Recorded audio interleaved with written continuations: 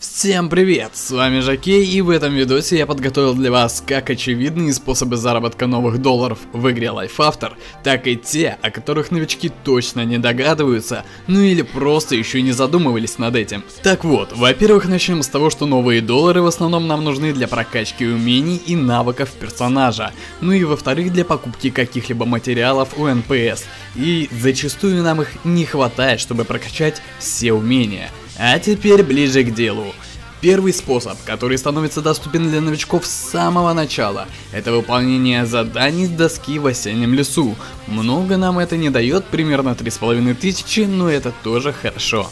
Второй способ, это сбор зараженной крови с убитых зараженных. Одну такую колбу можно продать за 100 новых долларов, и в день их можно пересылать до 120 штук, и это только с одной локации, 12 тысяч долларов. Третий способ это ловля рыбы. Рыбу синего и зеленого качества можно также продать НПС, но ограничение на пересылку также действует. И тут есть такая хитрость. Если вы состоите в каком-либо клане, то перейдя на пруд, можно также рыбачить и ловить рыбу разного качества. Ставите рыбалку на автомат, а потом просто продаете всю рыбу и становитесь богаче. Четвертый способ, который также доступен с самого начала, это обмен валюты. Одна донатная валюта приравнивается 100 долларам, а один золотой слиток равен 1 доллару. Пятый способ это получение новых долларов за сдачу определенных предметов, которые требуют НПС. Шестой способ – это убийство имперцев. У них всегда при себе найдется полтинник, а то и больше. Плюс прокачивается навык боя.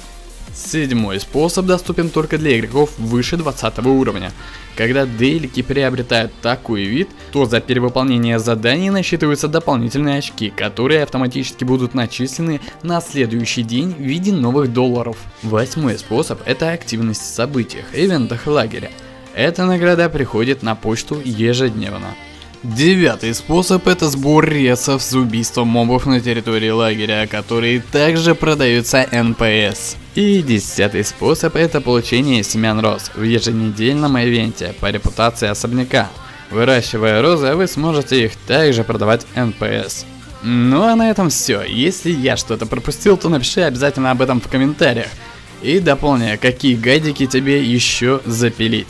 Если же хоть что-то тебе в этом видео помогло и ты узнал что-то новое, то поставь пожалуйста лайк и подпишись на канал.